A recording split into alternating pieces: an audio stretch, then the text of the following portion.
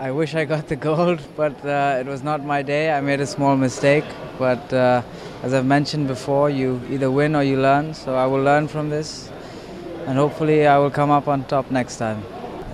It's it's a lot of work that goes into this, a lot of investment. Um, you know, I'm very very fortunate to to be backed by Mr. Jitu Virwani, and I'm riding for his program, which uh, has unbelievable support for the riders, uh, providing them with very good horses, the best trainers, very good training facilities.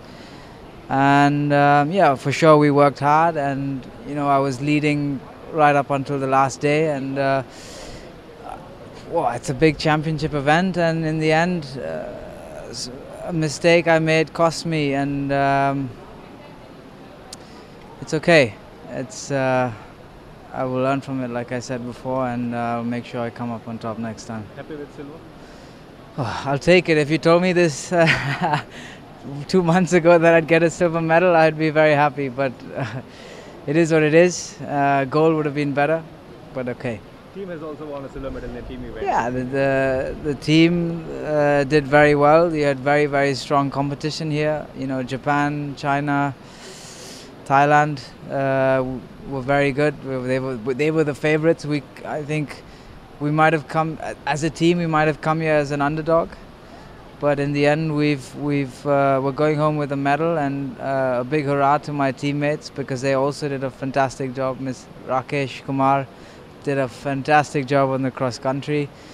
And the others also helped, you know, um, and they held it together on the last day. So, bravo to them.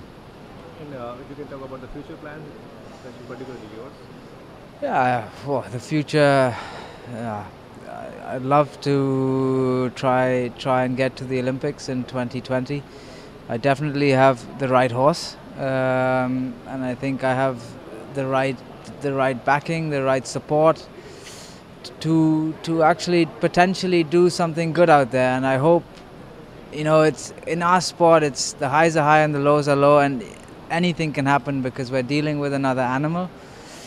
So, you know, if all goes well, you might just see us there. And if you do see us there, then I will ensure I give it my best. And you never know.